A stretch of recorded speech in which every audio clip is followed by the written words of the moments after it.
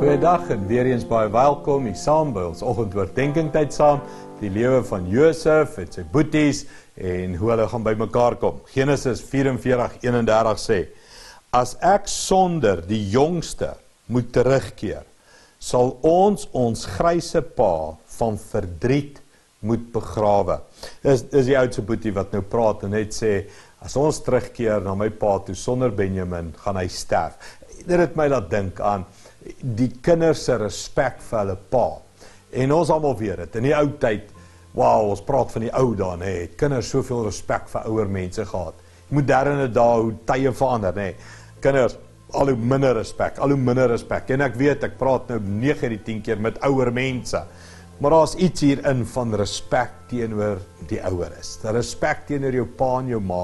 En die Bybel sê eer jou vader en jou moeder en jou dae sal verleng word. Dis die eerste voorwaarde met 'n belofte.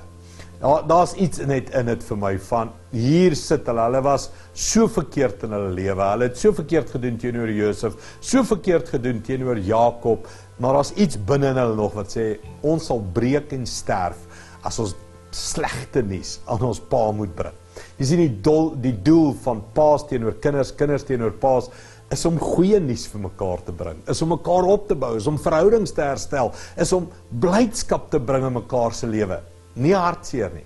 En soveel keer kan dit albei kante toe gaan. Ouers bring hartseer in kinders se lewe en kinders bring hartseer in ouers se lewe en dis nie die doel nie.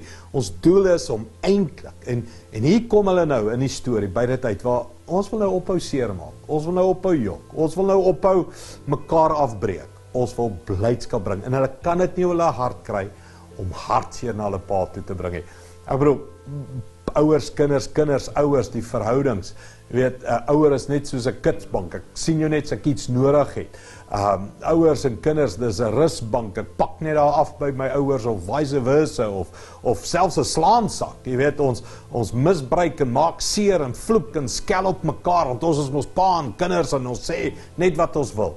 Kom ons dink, respek vir mekaar, liefde vir mekaar werk mooi met mekaar.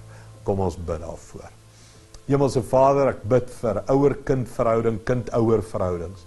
Hoe ons Here, dit is so belangrik. Ek dink aan ja Johannes wat gesê het in die gees van Johannes sal hy ouers en kinders met mekaar versoen en ouers met kinders en kinders met ouers weer versoen, Here.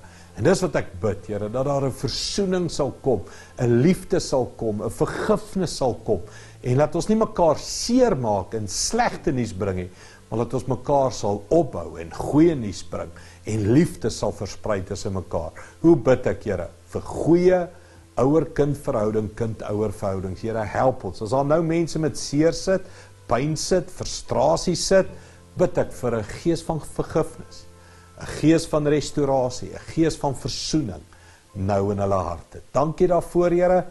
Gee ons wysheid om hierdie te hanteer in Jesus naam. Amen. Goed gaan. Sien jou weer. Baie dankie dat u vandag saam met ons ingeskakel het in hierdie oordeenking tyd. Ons is so opgewonde oor wat die Here vandag vir ons wil sê en met ons wil deel.